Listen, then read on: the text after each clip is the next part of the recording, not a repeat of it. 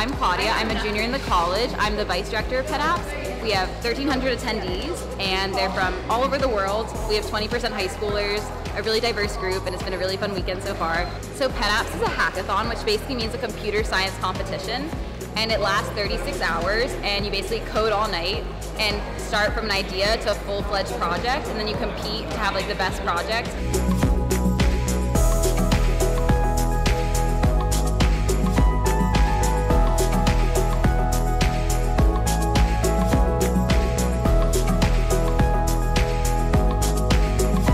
Actually the 20th time PennApps has happened. It's the 10th year it's been happening at Penn. But yeah, we've come a long way and we've loved to see how it's PennApps has evolved over time.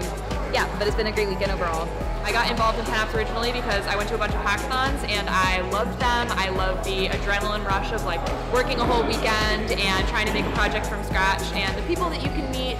Uh, so I decided that I wanted to be a part of creating that for other hackers really great things come out of PennApps. Like a lot of companies come out of PennApps. It's a really great time to like explore something new, learn something new, and like meet new people, and even just like leave like a much better coder than you came in.